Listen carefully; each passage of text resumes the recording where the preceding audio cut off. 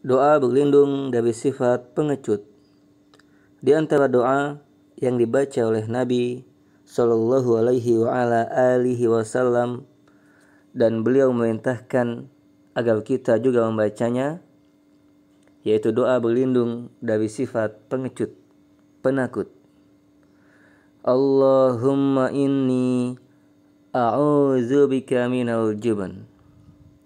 Allahumma Ya Allah, ini sesungguhnya aku a'udzubika berlindung kepadamu minal juban dari sifat pengecut.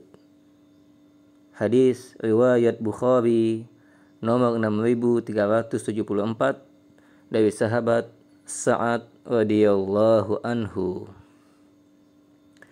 Allahumma inni A'udzubika minal juban. Ya Allah, sesungguhnya aku berlindung kepadamu dari sifat pengecut.